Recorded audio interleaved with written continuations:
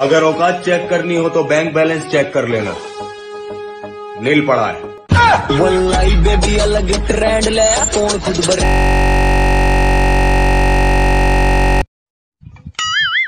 तुम्हारा ऑपरेशन करना पड़ेगा। तू जा एक माला लेके आ। माला किस लिए? अगर ऑपरेशन सक्सेस हो गया तो मेरे लिए नहीं हुआ तो तुम्हारे लिए।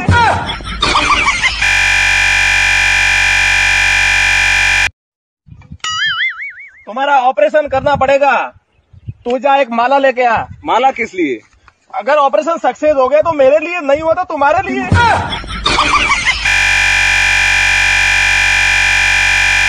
चुटकी मार! चुटकी मार! चुटकी मार!